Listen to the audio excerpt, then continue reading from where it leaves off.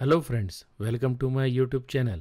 Today I'll teach you how to download files from folder or directory in ASP.NET MVC. So let's start. Let's open the Solution Explorer. Here you will notice that there is a folder named files. It contains all the files which will be downloaded or displayed on the page. Now I'm adding a model class to our project. I'll give it a suitable name. Here I am naming it as file model.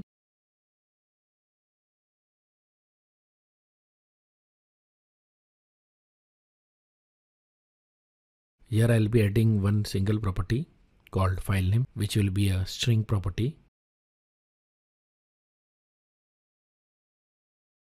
Now let's move to the controller.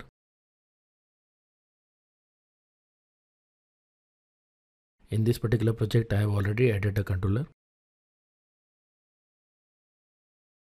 Now I'll add a namespace system.io. This particular namespace is required for file and directory operations. Now here inside the action result method, I am creating a string array.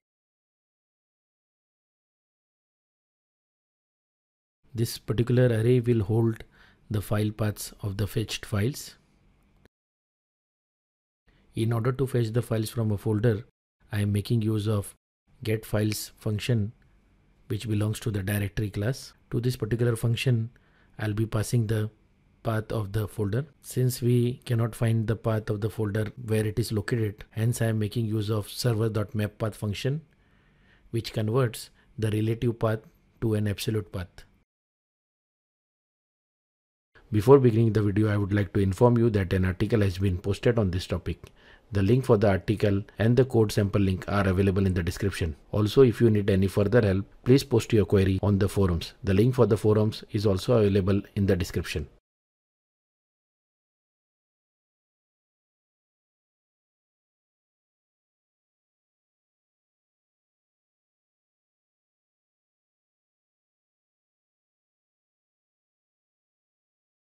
Now I am writing a for each loop and already I have created a generic list collection of file model class object.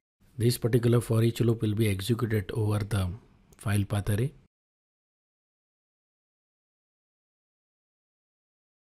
And inside this for each loop, the file path will be converted to file name and it will be set in the file name property of the file model class object. And then the file model class object will be added to the generic list collection of the file model class. The purpose of doing this is because we will not require the complete path of the file when we are displaying it. Also for download purpose, we only require the name of the file because the path of the file that is the location of the folder we already know. Finally, I am returning the generic list collection of file model class objects to the view. I would like to request you to please subscribe to my channel and click the bell icon.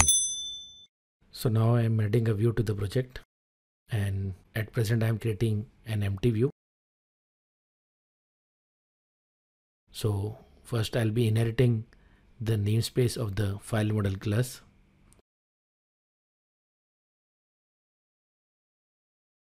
And later on I'll be declaring the list collection of the file model class as the model for the view. The reason is simple because we are sending a list collection. So we will be receiving a list collection. So that's the reason I am declaring list collection of file model class as the model for the view. So now I'll be creating an HTML table.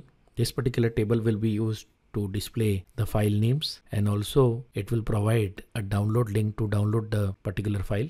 So as you can see, the very first header element inside the table is file name. So this particular column will display the name of the file while the other blank column will be displaying the download links. In order to create the HTML table rows, I am making use of a for each loop and this particular loop will be executed over the generic list collection of the file model class. Now inside the for each loop, I am creating an HTML table row with two table cells. The first table cell will display the name of the file. The second table cell will contain the download link and for that purpose I am making use of action link method of the HTML helper class.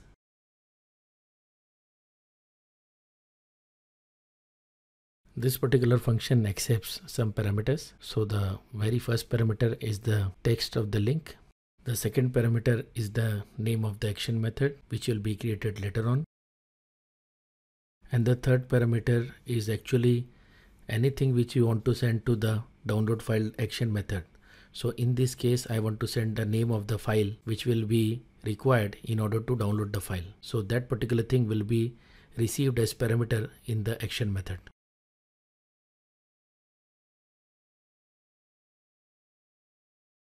Now let's move back to the controller where we'll write the code for the download file action method.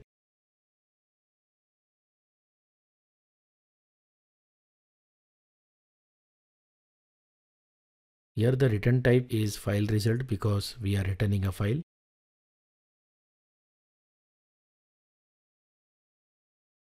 And the name of the file sent from the view is received as a parameter.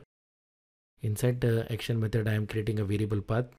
This particular variable will store the absolute path of the file. Here I am making use of server.mappath function to convert the relative path of the folder to the absolute path. and then I am concatenating it to the file name. This gives me the complete file path. Now I am creating a variable of type byte array. Byte array because I will be reading the file data. In order to read the file, I am making use of read all bytes method of the file class. And to that method, I am passing the complete absolute path of the file.